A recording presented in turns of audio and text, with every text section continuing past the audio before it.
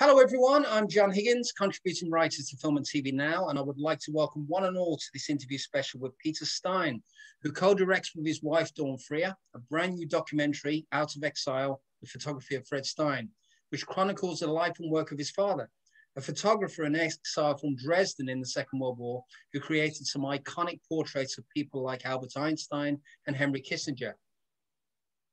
The film recently played um, at the Paris International Film Festival, where it won an award for Best Documentary Editing, which is credited to Dawn Freer again.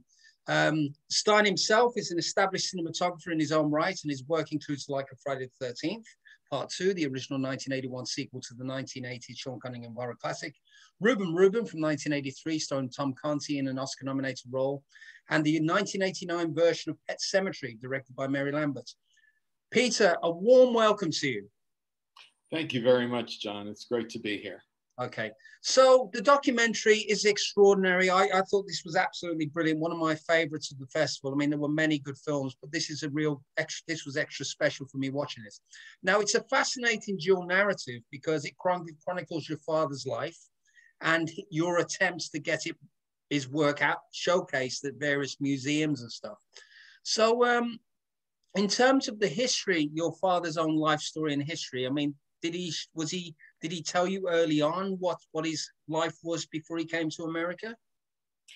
Well, as a as a child, I certainly knew that uh, my parents were refugees uh, from Germany originally, and they had just arrived in the United States from uh, from Paris, where they first left Germany uh, as exiles. Um, so I, I, knew that much about the history. But uh, then as I grew older, um, I understood and learned that he had been a, uh, a lawyer in Germany. And well, in fact, um, he had just graduated from law school, the first in his class uh, at Leipzig University when Hitler came to power. And at that time in Germany, I, I believe it might still be the same in order to practice law in, in front of a courtroom, you had to spend two years after law school as an apprentice in the state prosecutor's office. So that was a government job. And uh, he graduated in 1933. And that was the first year, uh, that was the year that Hitler came to power. And the first laws that he passed was that Jews couldn't work for the government. So my father was fired, and he could never be a, a lawyer because he couldn't do those first two years in the state prosecutor's office. And then uh, he got a job uh, with a friend's father, and um, but uh, and my father was very active politically. He would go out on his bicycle handing out leaflets against the Nazis. And um, one day his friend told him that his father warned him that the Gestapo had come around asking uh, questions about Fred. And the week before that, they had uh, done the same thing with a young woman, and she was arrested and never heard from again. So he told my father, You better leave Germany now. So he and my mother, they had just gotten married uh, they left uh, on the pretext of taking a honeymoon. You couldn't just leave. And they went to Paris. And uh, that's where he learned photography, decided to become a photographer. Mm-hmm. And um, you co-directed this with your wife. And I mean, in terms of in the terms of the as co-directing, what how did you structure everything? What was the how what was the process for that?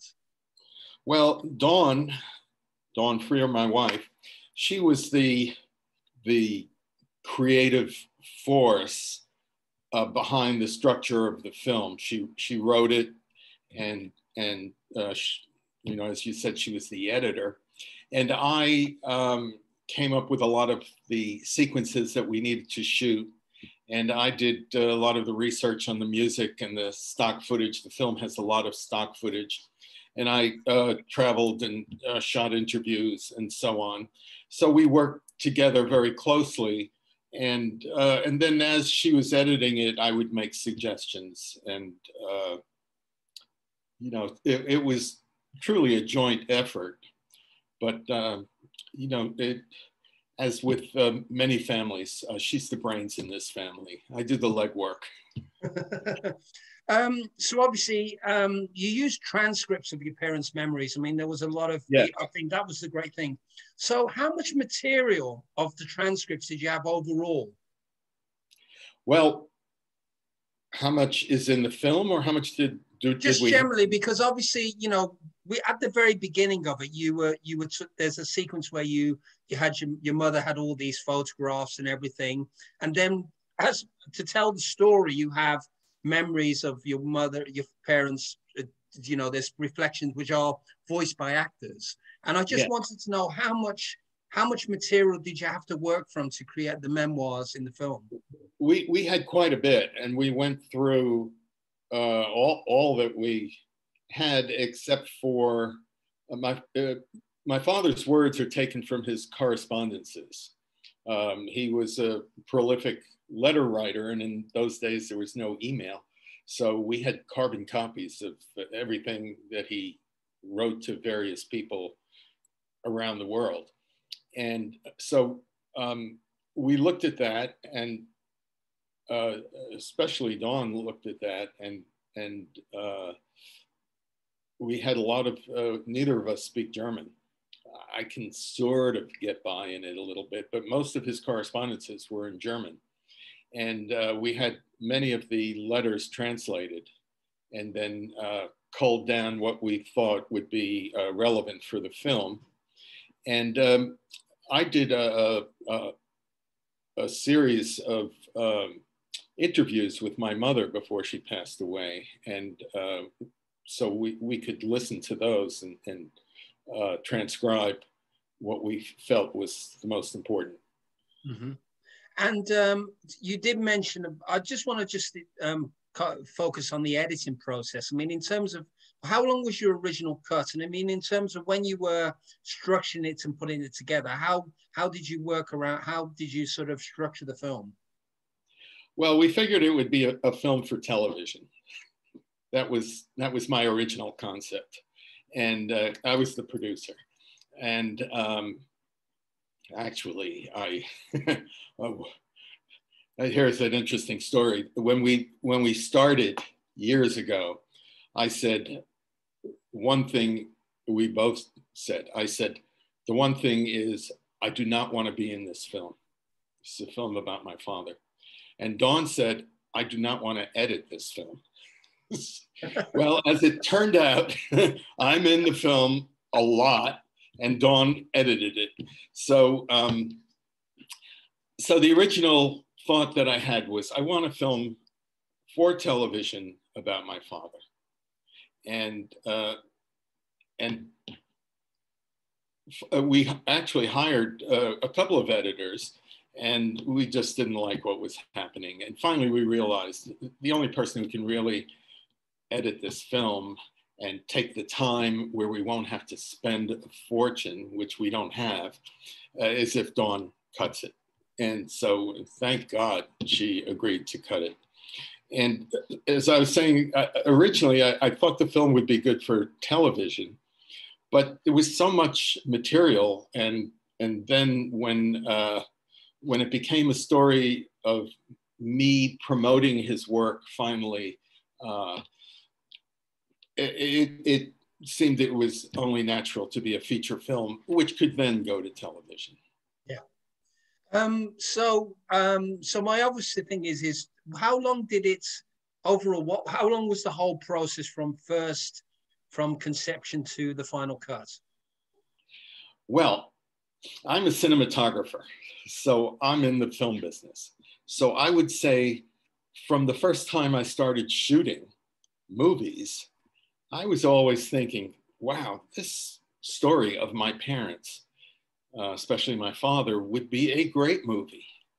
Um, it would be a great narrative film for someone like Spielberg to do, but he's done his, uh, his uh, exile film um, or a great documentary. So for my whole career, I was always thinking of uh, doing a, a documentary.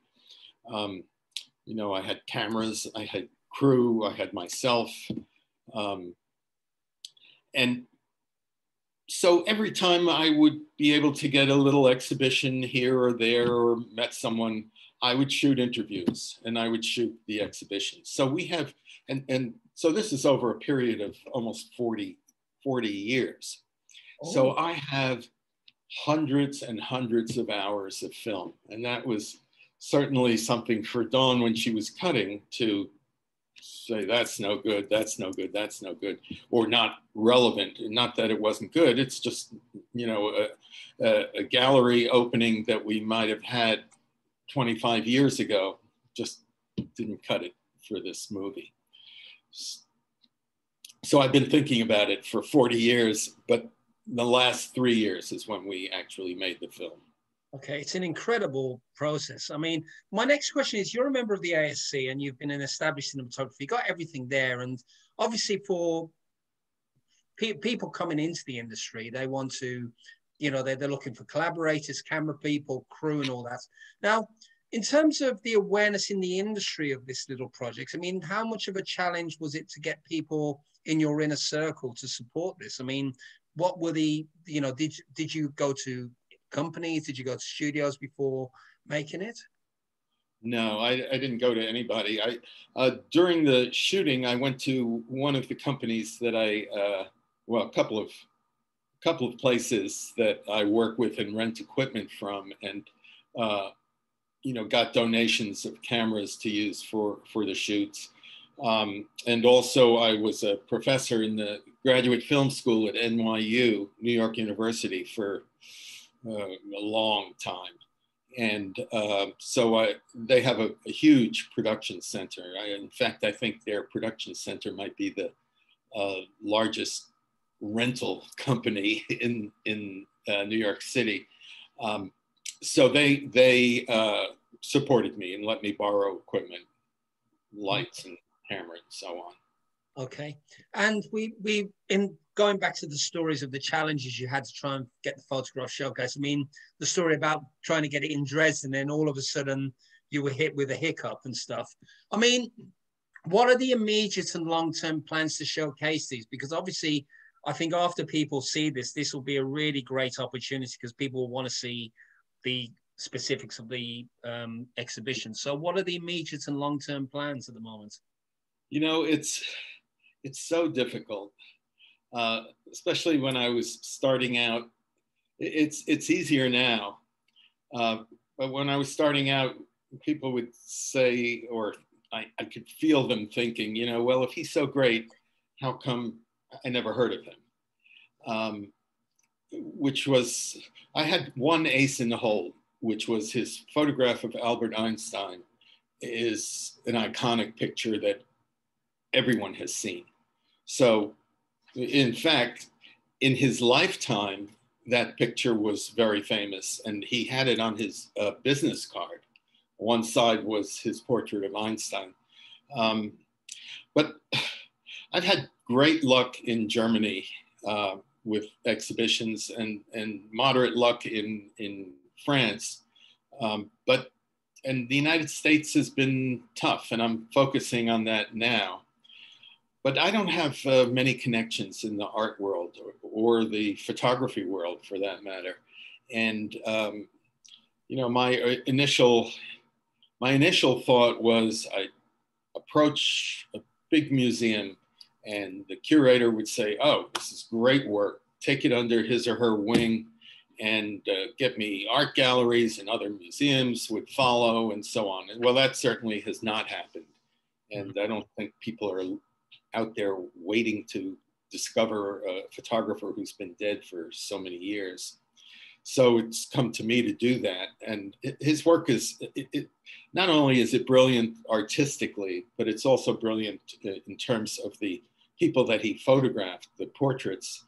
Uh, are so many of the most important intellectuals and uh, physicists, other scientists, artists, writers, painters, uh, architects, philosophers, uh, the, the real uh, intellectual elite of the mid 20th century, who people may have heard uh, you know, different in Germany, it's a one group. In the United States, another group. In France, another group, and and then the the whole group in in total. Um, it's wonderful for people to be able to actually see those faces.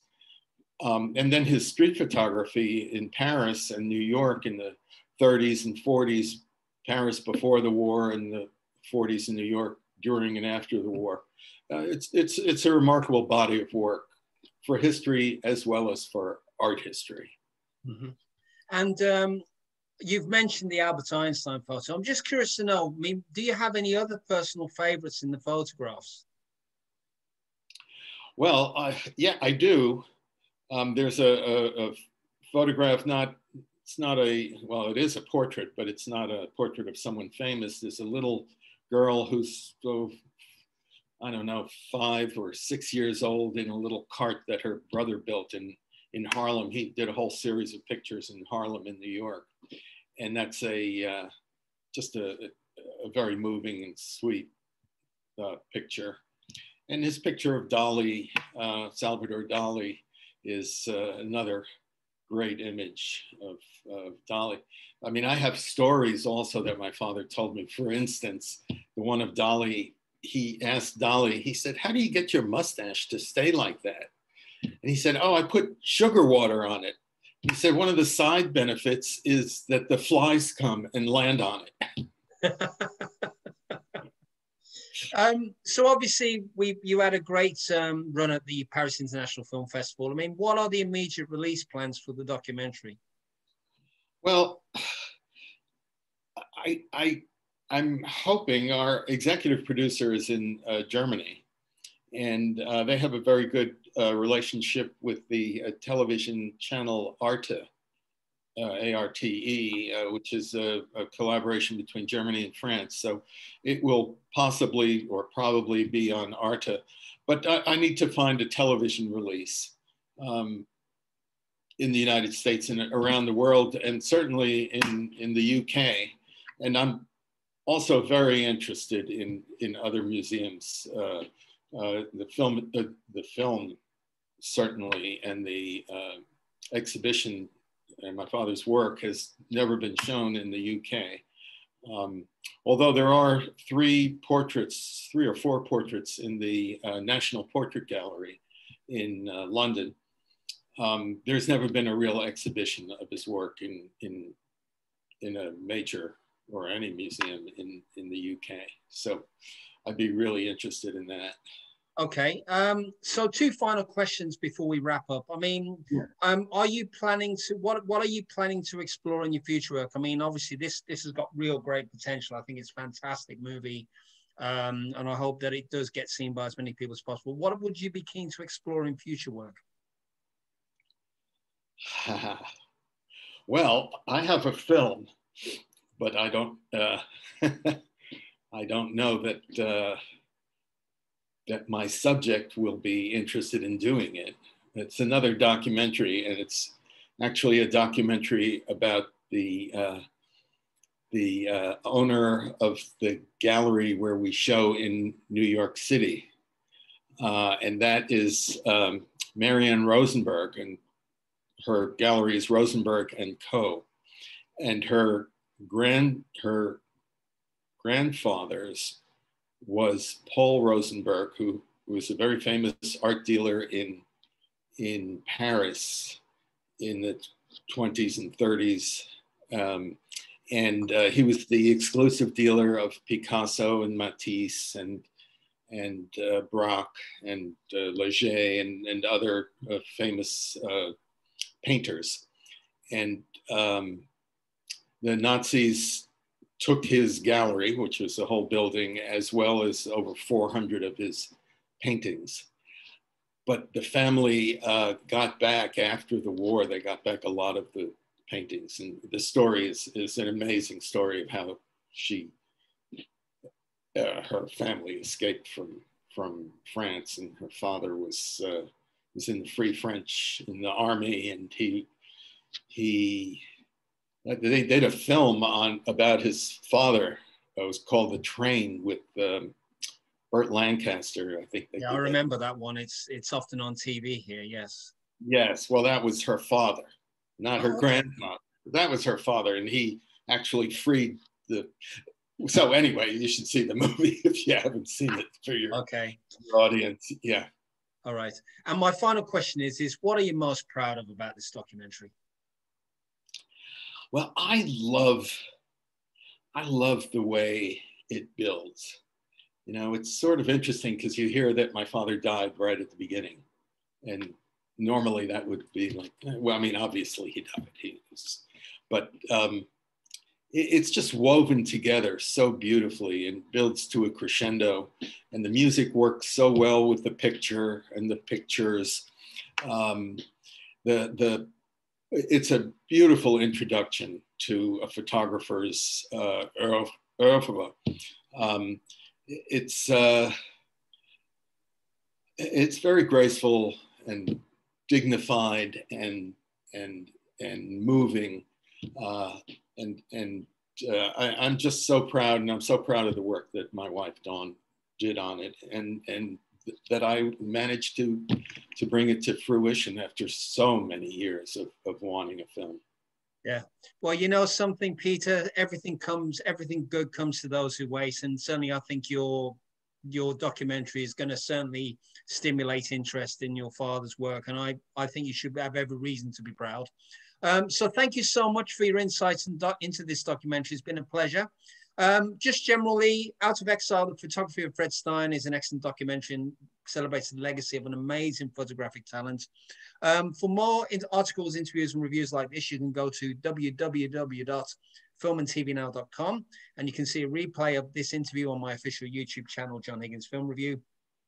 If you want to participate in the 2023 edition of the Paris International Film Festival, be it as a filmmaker or as an, um, a viewer, you can go to www.parisintlfest.com.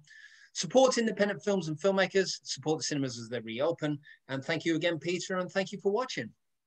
And thank you so much, John.